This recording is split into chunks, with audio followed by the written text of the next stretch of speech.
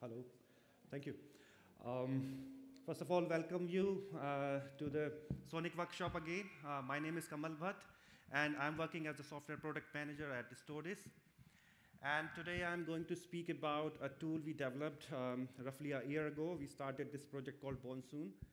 Uh, using Monsoon, you can basically monitor the Sonic switches, specifically Sonic switches it is uh, built for.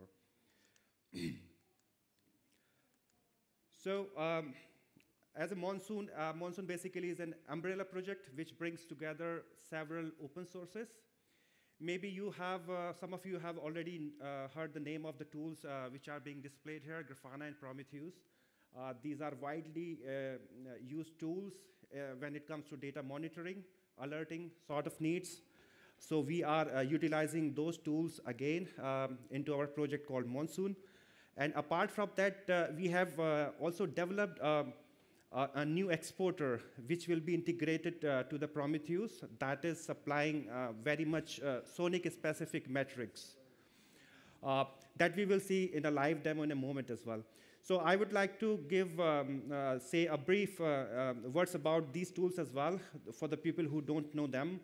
Grafana is basically is a data visualization tool which helps user to customize dashboards and have a visual data in form of graphs, pie charts, uh, be it heat map, histograms, and, and there are literally lots of visualization templates available in form of plugins and inbuilt as well.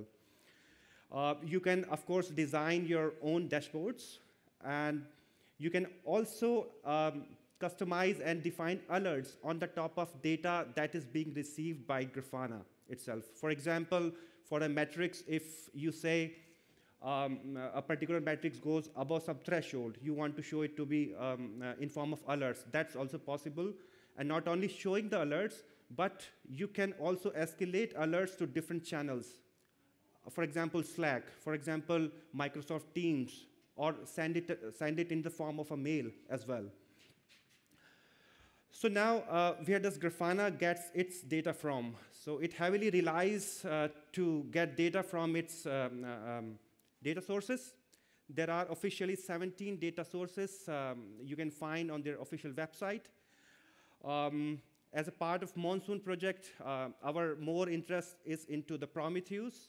I would like to mention InfluxDB as well, because uh, our friend here, Kamran, um, uh, would be uh, explaining a bit more on InfluxDB, but as a part of Monsoon, uh, we will be speaking about uh, Prometheus here. So a few words about Prometheus. As I said, it's a data collector software. So it basically, on the, on the basis of configuration, the frequency you have defined, it goes and reads data from the agents. In the typical terms of Prometheus, we call them exporters, which are running on devices.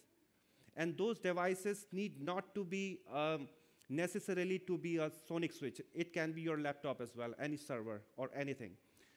So it collects and stores and creates a time series database, which basically Grafana shows um, uh, on the UI. So metrics are collected and recorded with their timestamps. Prometheus speaks to uh, the exporters over HTTP.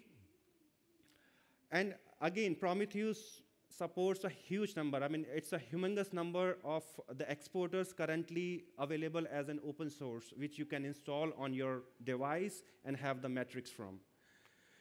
Sonic exporter is not yet there um, as uh, in the list of officially supported um, exporters of Prometheus, but we are working on that. So uh, Sonic Exporter is separately available as an open source. You can install, and it is fully integrated to Prometheus, and uh, in this full stack, Grafana, Prometheus Exporter, and, and so on. on the top level, the architecture of Monsoon project, uh, uh, it's very simple. Grafana, I have already spoke about. Uh, the, the, just bottom, uh, you will see Prometheus just below the Grafana. And at the bottom box, you will see it's a zoomed in version of Switch, you can say. If you have already used or tried Sonic, you, you know it's containerized um, operating system. It, you, uh, it runs its services uh, in, in various containers. So we followed the same approach. On the left-hand side, what you see is a Sonic exporter. That is, that is running on each and every Sonic device, and it is the, the person, it is the, it is the software body which is supplying the metrics about the Sonic switch. And on the right side, it's just an example of already available open source exporter in Prometheus, that is node exporter. That is, in general, very useful. Um, it supplies lots of metrics about the uh, uh, resource usage uh, of your device, whatever it, it can be. But this Sonic exporter is very specific to the, uh, the Sonic devices here. So I have mentioned the links as well uh, on the left-hand side um, below the text. Uh, you can go to and check out the links on the link above of the Prometheus, you will find several, uh, lots of exporters available. And below, it's an open source GitHub repository link of the Sonic exporter. So now how all these things gel together, how we integrate. So Grafana and Prometheus information is, is available in public domain, and it's very easy to find out. So Grafana has its quite a nice UI where you can say, okay, this is my data collector. Go and speak to him and get the metrics from. So it's UI-based configuration. In Prometheus, there is a configuration file. Um, if you are going with the default uh, installation, it's under etc prometheus prometheus.yaml, and you define a job name there. For example, Sonic exporter, and which all switches you want to monitor. Uh, these are mentioned under target. And here again, if you are using more than one exporters, for example, in, in the previous slide, you see uh, the node exporter. So you can define one more, more job there, and you are done. So Prometheus will start collecting uh, the data for these jobs from that many targets, and we'll uh, build a time series database. There are a bunch of uh, configuration uh, parameters also available for Sonic uh, that you can see on, the, on our GitHub repository as well. This, for example, is a Sonic exporter port. That is 9101 by default, but uh, of course you can change it. Um, uh, you, you can supply it while starting your Docker container in the environment as an environment variable. So um, now what all metrics are supported by Sonic Exporter as of today. Uh, I will briefly mention uh, the Sonic system information. Uh, this includes your device version, Sonic uh, version, and lots of other things we will see in the, in the demo as well. Some platform information like power supply units status, are they operational, are they inserted, fan, temperature readings from um, different uh, sensors available on your, on your device, per interface information, I mean, uh, we have quite a huge number of metrics being supplied for every interface you have on your uh, Sonic switch. DOM readings, I mean, uh, the stats from for your transceivers, we will see VXLAN, EVPN, BGP, static Anycast gateway. Uh, these metrics are also available. As I said, this is an uh, open source project. So you feel free to add more and more metrics you want out of a Sonic switch. Just for reference, I have also mentioned a Python file at the bottom. Exporter.py is the file that is responsible for doing all that calculation, reading data from the Redis database that is running on the Sonic switch, and sometimes Sonic Exporter is also getting data di by directly executing the CLI commands. I mean, uh, there is a good thing about Son Sonic CLI commands is that uh, for some commands, if you provide hyphen hyphen JSON, then you have output in the form of JSON. And it makes so easy for, for, for a, uh, to interact with uh, this output programmatically. So we utilize the CLI as well sometimes. So uh, the class is Sonic collector and init metrics. So if you want, feel free to have a look how these metrics are being collected from the Sonic device. Okay, I will jump into the live demo. I will uh, quickly browse you through uh, how the dashboard is looking like. Maybe some people have already seen it on our booth. We are uh, demonstrating in, on, the, on a, small screen. So I will do it here as well. So uh, yeah, of course, you will find some tutorial videos of mine on the YouTube. Uh, this is uh, the landing page of Grafana. This is totally customizable. Every panel, dashboard, alerts, these videos, our links to the store direct and the, the company website are everything customizable. So alerts, uh, I have defined a separate panel as well, and the panel very much looks like this. The alerts I was speaking about are those alerts. So here you can see BGP neighbor status alerts. I have defined some PSU operational status alerts I'm receiving. So these alerts are defined on the top of metrics which are being um, read by Grafana. So Grafana says, okay, if the PSU status value is zero, I, you can configure inside Grafana, okay, this is an alert. And of course, the escalation policies are also possible to be defined there. So um, node exporter, I wouldn't go deep, but just have a look. I mean, how many uh, statistics you can get out of a device. This is available in, in, public domain, open source, totally free install. Feel free to expand all these. By the way, this link is available uh, in public, so you can hit this link, monsoon.stordis.com, colon 8080. You will land up in a public demo, and uh, you can browse through the metrics, what this tool is capable of doing.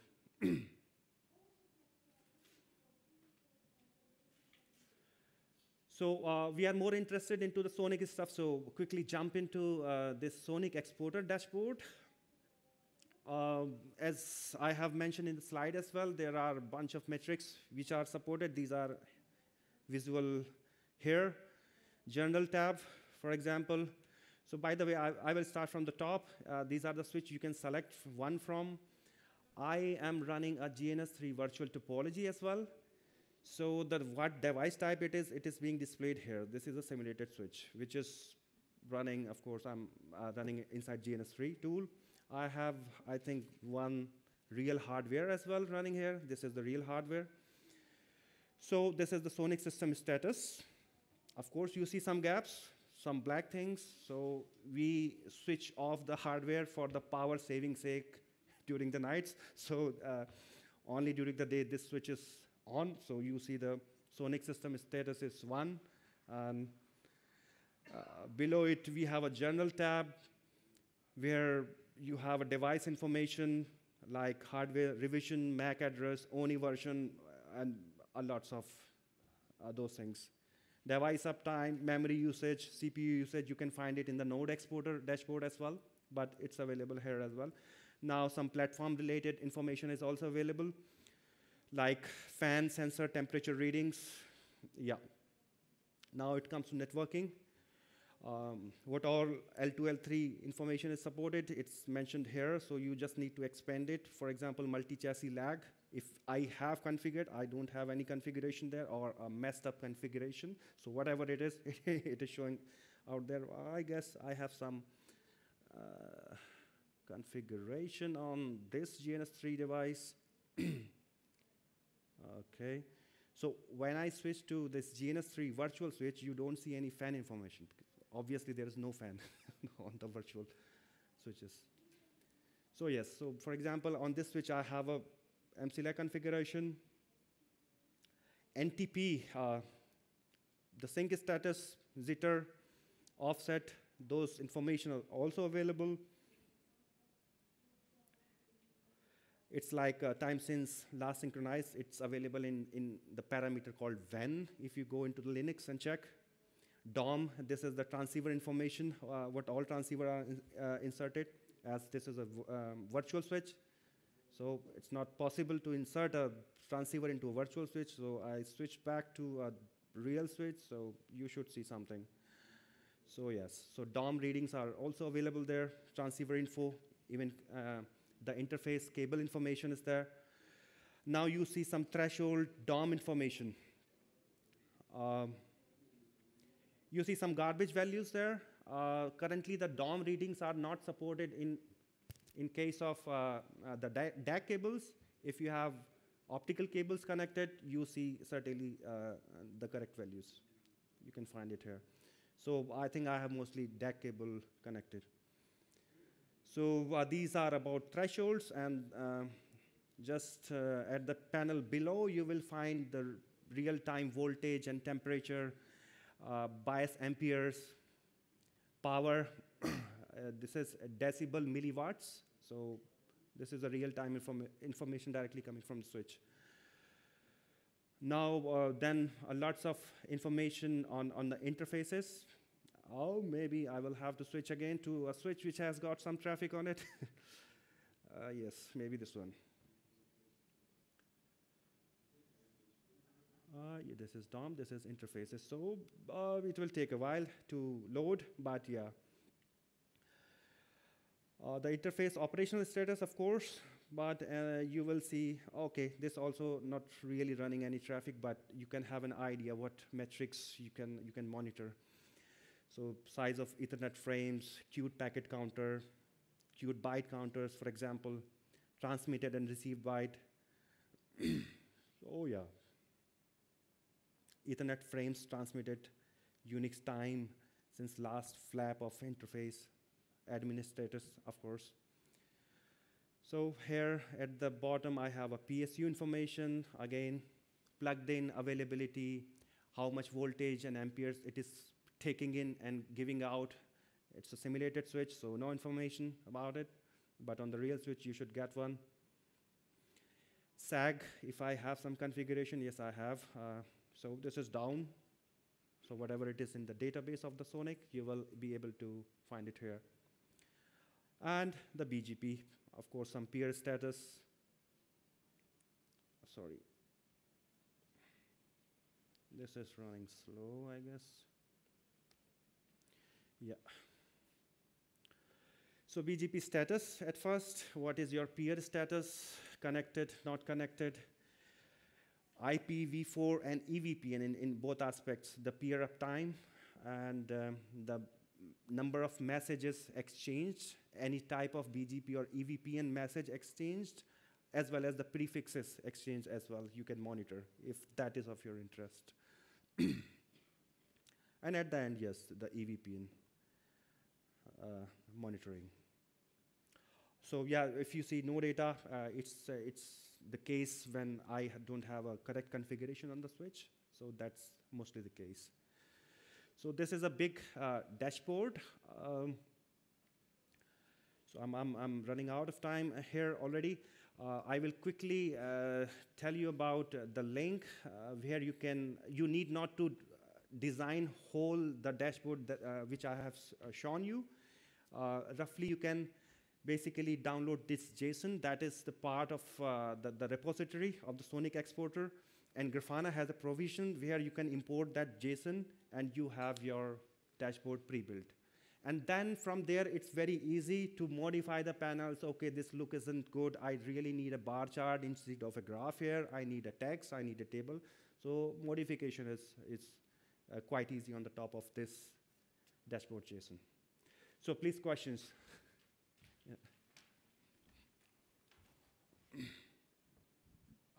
Two very quick ones. Uh, the first one is uh, how do you actually install the containers on the on the switches?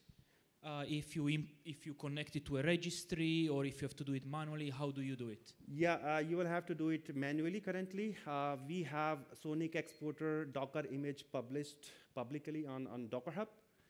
So uh, there is a single liner command mentioned on the repository. You copy and paste on the device, and roughly that's it as far as it is concerned to Sonic Exporter only. But apart from that, of course, you will have to do Grafana and Prometheus installation. These, uh, as a part of this demo, I'm running on the containers. To run those things on the container, the command, single liner commands to start the Docker containers are also, also mentioned on the repository README page. So, yeah. Thank you. And the second question, uh, we see how you know, well, you are able to, to look at the information and the telemetry from the device. Uh, uh, do you also handle alerting?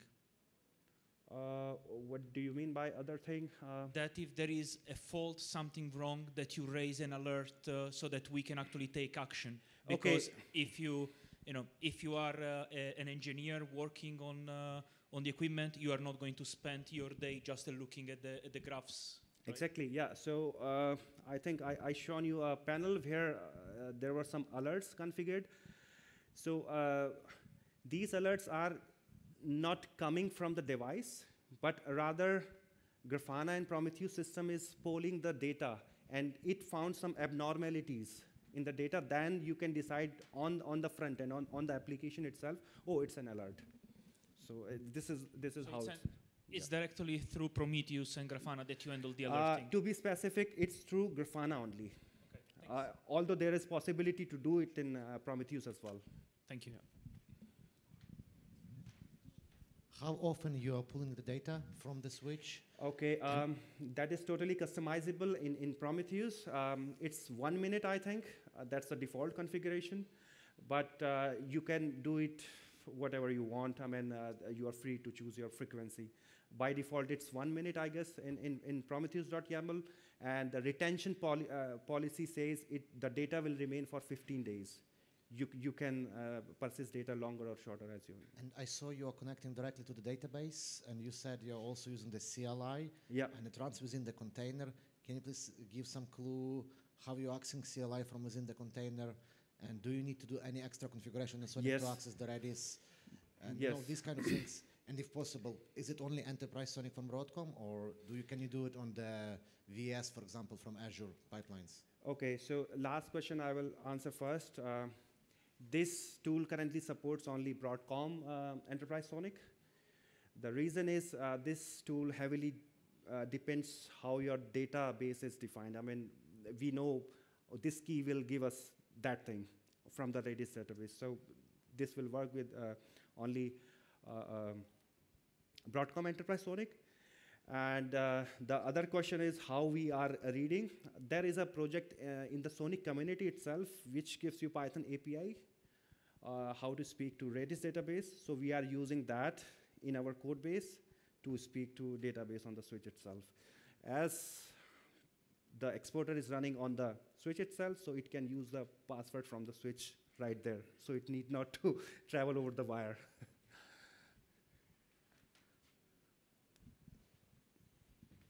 Um, you mentioned that this is basically running on the Broadcom enterprise one, right? So are there any plans to like make this part of the upstream Sonic or synchronize with those people there or Yeah, we would love to, and we would like people who can contribute to the project. We already have issues. People have reported. I want this to be supported on the community version. But yes, certainly we have plans, but we are looking for resources who, who, who can contribute to the project so that it works on the community version and more flavors of Sonic enterprise versions even. but you want to want so my question was also targeting like you want to keep this uh, like long term as a as a separate project or more move into the direction of letting this become a central part of Sonic itself at one point This will uh, remain as it is because this is tightly bound to the tooling we are using here. This is Grafana, Prometheus. If you're, uh, you are asking in the direction of like, are you having any plans to adapt more traditional interfaces for network management like SNMP or GNMI? That is not existing here. No, So- I- I mean the exporter. So basically, just the the Prometheus exporter. So would there be an option to let the Prometheus exporter or the Sonic exporter, you Mhm. named it, I guess, uh, become part of upstream Sonic? Um, not really. Uh, we don't have that plan yet, but this exporter terminology is uh, making more sense in, in the Prometheus uh, ecosystem more than uh, to the Sonic one. If you see, if you will uh, visit the link I was mentioning before of the Prometheus, there is a variety of the uh, uh, exporters mentioned. For example, SNMP exporter, what it does, it's related to network, but what it is doing in the Prometheus ecosystem because it's it's agent prometheus agent so we will target first to make it official uh, into the prometheus um, uh, list of exporters. But yes it is specific to sonic as well. So it, it supplies the sonic specific metrics. I was just thinking if if it's part of the upstream Sonic, the pathway forward to becoming the official exporter might be a lot easier. Because if it's in the upstream Sonic, if it's the Sonic exporter for Prometheus in the upstream Sonic, that will be the exporter for Sonic in the Prometheus part as well. So that was my, my thinking there. But thank you yeah, so much. that- yeah, okay any other questions yeah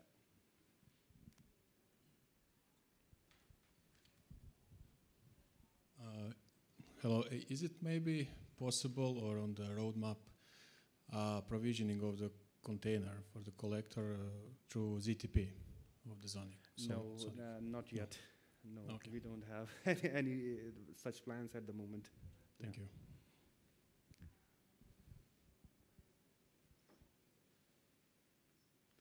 All right, I guess our next presenter is ready. Our friend Kamran from Broadcom.